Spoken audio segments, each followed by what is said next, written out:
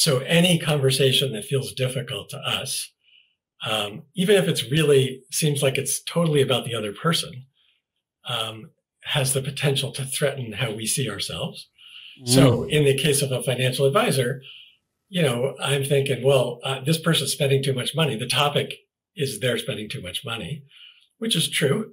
But if it feels difficult from the advisor's point of view, there's some way in which the advisor is thinking, depending on how this goes, this is going to impact maybe how I see myself.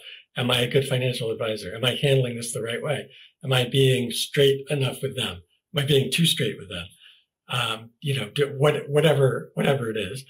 Uh, and so one of the challenges of what makes conversations hard is that those three levels are kind of going on at the same time. The, the substance, the feelings, and then questions about our identity and how we see ourselves.